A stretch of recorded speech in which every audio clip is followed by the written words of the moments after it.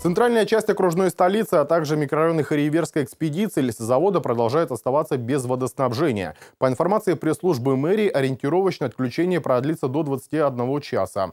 Впрочем, не исключено, что эта ситуация может затянуться на более длительное время. Причиной коммунального коллапса стала авария на водоводе, которая произошла в ночь на вторник в районе дома номер 18 по улице Ленина. Ленина 18. Ну вот. У нас тут река.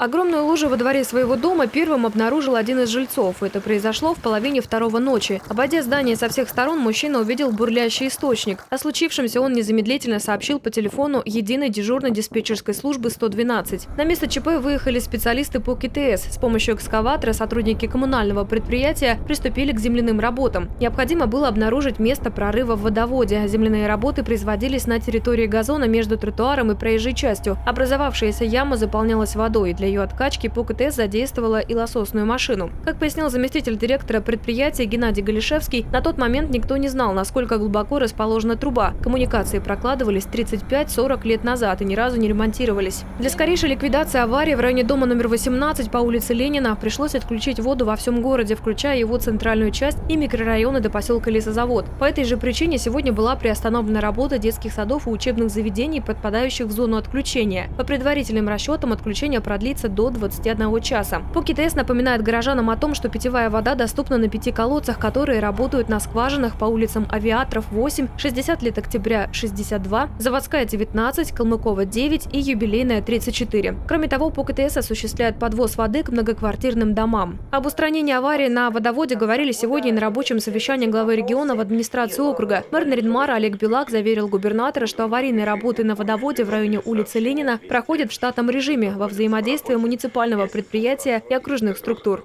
Поблагодарить хочу за взаимодействие всех. Это и наши подрядные организации, которые работают в городе, строители, департамент строительства ЖКХ и э, УГД. То есть как бы вовремя все оказали содействие с обеспечением там, подготовкой техникой.